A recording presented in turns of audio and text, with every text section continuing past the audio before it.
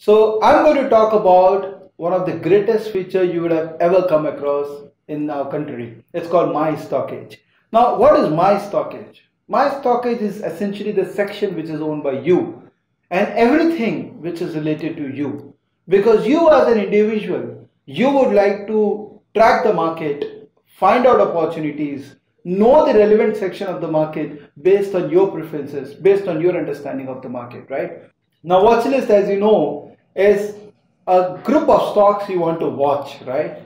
Now, inevitably, we know that we have various category of stocks which can be tracked. So we like to track FMCG sector in a different manner. We like to track the IT sector in a different manner. So you can have different objectives of tracking the group of stocks. So what we have done is we have given you my watch list where you can create multiple watch lists and you can add multiple stocks in those watch lists. And you can track all the stocks at a consolidated level right? And you can see various parameters on the basis of which the stock can be exhaustively covered right?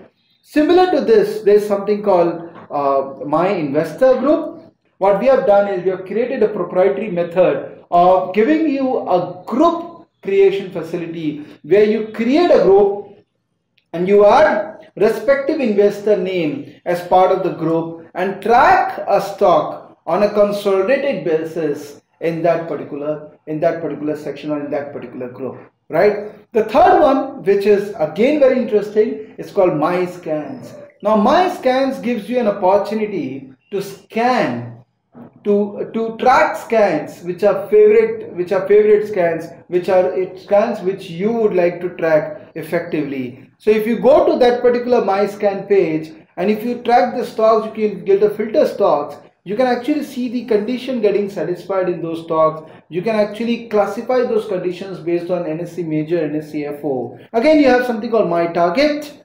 Now you have given targets to various stocks. Now this section exhaustively pens down all the targets which you have given in multiple stocks. Also, it will give you historically which stock has recently achieved the target so that in case you want to act further on that historical data, you can do it from this particular section.